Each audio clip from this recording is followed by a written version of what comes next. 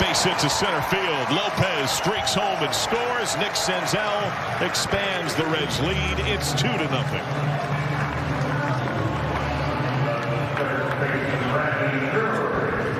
Good baseball being played. The double by Alejo Lopez.